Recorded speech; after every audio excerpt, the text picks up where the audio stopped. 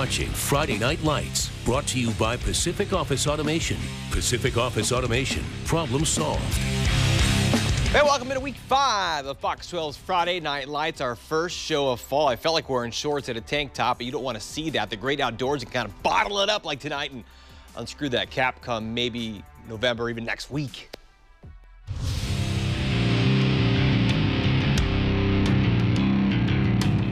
And back in the game on our big game, it's Fox 12's Craig Birnbach at Jesuit High, where the Crusaders and Rams, they rarely ever disappoint, but sometimes, Craig, they can be lopsided.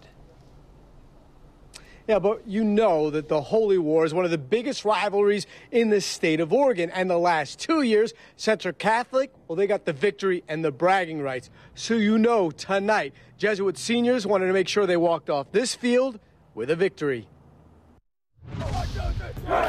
The Crusaders came out on fire in this holy war. Cade Wisher went over the 100-yard rushing mark in the first quarter. Those yards included this 18-yard touchdown scamper, followed up by this four-yard beauty, and it was 14-0 in a flash.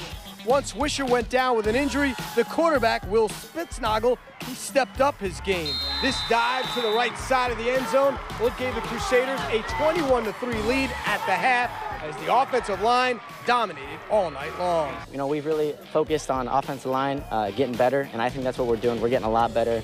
Uh, as you saw tonight, you know, it's impressive what they can do. In the second half, Central Catholic shows some signs of life. This Cade Knighton to Silas Starr connection, well, it got the Rams within 11. But on this night, the Crusaders were the class of the rivalry.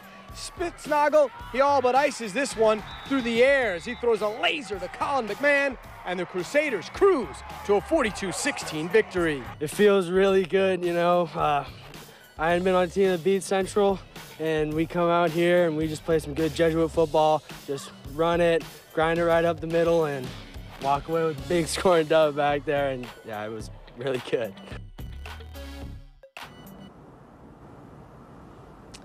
Well, Jesuit rolled up over 400 total yards of offense, and congrats to their head coach, Ken Potter, as he moves into a tie for third place for most coaching victories in the state of Oregon. Live from Jesuit High School, I'm Craig Birnbach, Friday Night Lights.